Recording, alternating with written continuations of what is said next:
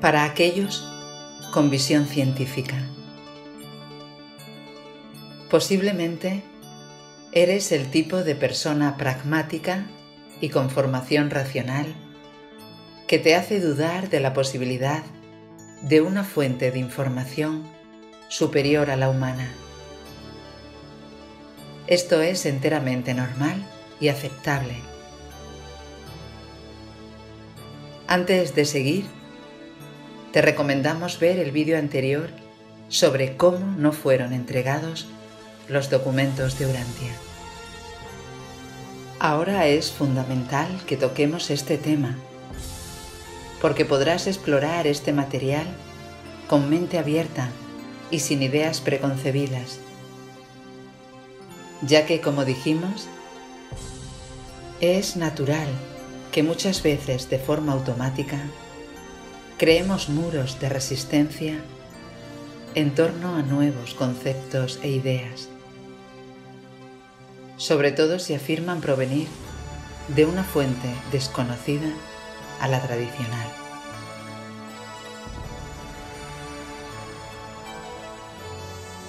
Además, la ciencia actualmente tiende a expresar sus descubrimientos mediante organismos oficiales, instituciones científicas, y mucho de este material debe aparecer publicado en revistas como Nature para obtener las credenciales adecuadas.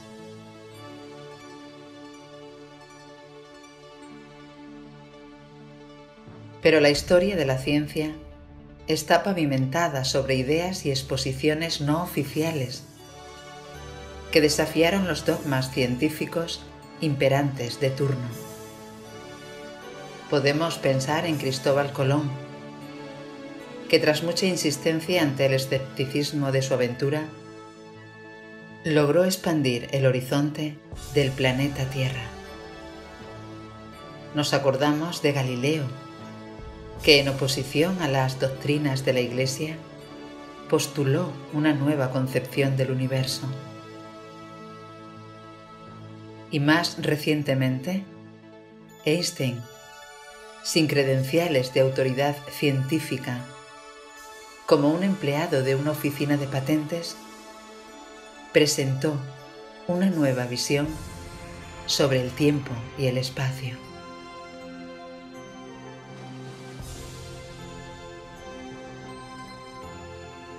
Esto nos enseña que los descubrimientos e inventos trascendentales de la humanidad nunca dependieron de credenciales o dogmas preestablecidos, sino precisamente de la ruptura con las ideas anteriores, independiente de la fuente o de las credenciales de quien entregara dicha información.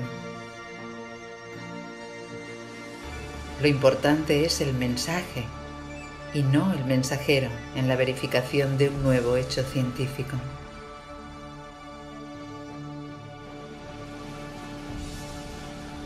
Como ejemplo, veamos cómo los documentos de Urantia a mediados de los años 30 del siglo XX hicieron estas asombrosas declaraciones en torno a la astronomía. En el documento 41 se nos dice,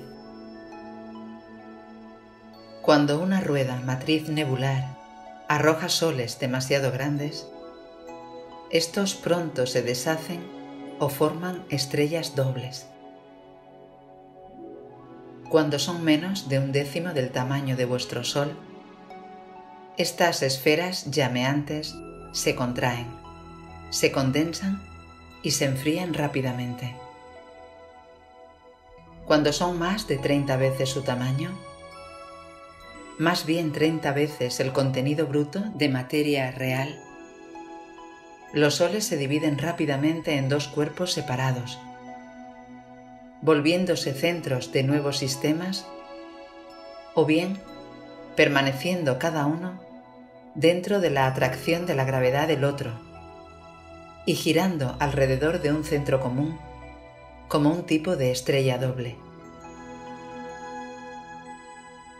Los recientes descubrimientos han confirmado que los sistemas solares binarios son más comunes de lo que antes se pensaba.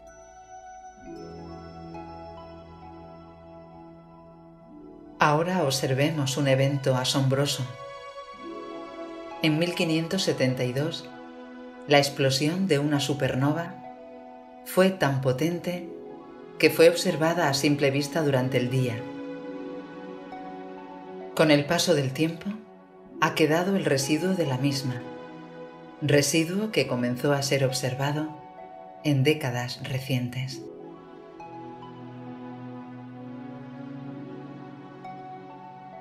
En esta imagen observamos más detenidamente este residuo que fue descubierto en 1960. Y en la imagen de la derecha observamos los dibujos de Tycho Brahe, que observó la explosión a plena luz del día en 1572. Lo interesante es que hasta hace poco se pensaba que esta era la explosión de una única estrella, un único sol moribundo que había estallado. Y ahora notemos esta asombrosa declaración del libro de Urantia a mediados de los años 30 del siglo XX. La más reciente de las erupciones cósmicas principales en Orbontón fue la extraordinaria explosión de estrellas dobles, la luz de la cual llegó a Urantia en el año 1572. Esta conflagración fue tan intensa que la explosión fue claramente visible a la luz del día. Esta predicción científica del libro declaraba que la explosión de la supernova Tycho fue causada por dos estrellas. Y para nuestro asombro, en octubre de 2004, en una carta a Nature, se reportó el descubrimiento de una estrella de tipo espectral G2 lo que prueba que fue una supernova de tipo 1A. Una supernova 1A es un tipo de supernova que ocurre en sistemas binarios, sistemas de dos estrellas que orbitan entre sí.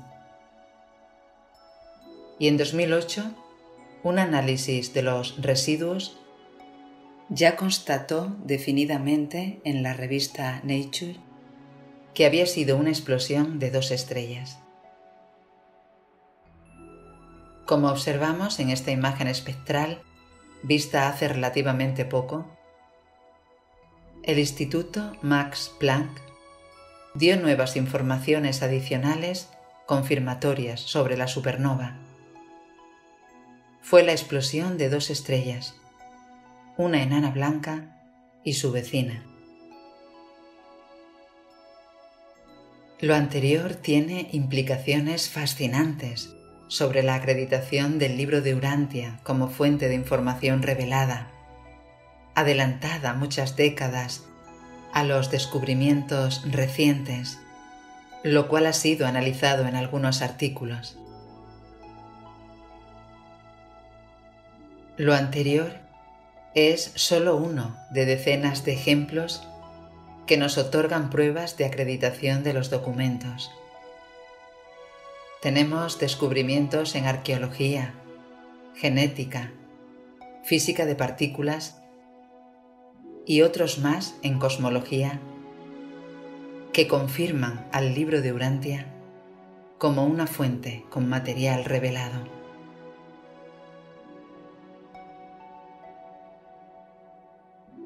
Al concluir podemos señalar que cuando hacemos el ejercicio de una apertura mental, esto nos permite volar a nuevas posibilidades, a explorar el horizonte con libertad y llegar a alturas asombrosas de descubrimientos, conocimientos y una integración de la realidad, ciencia y espiritualidad.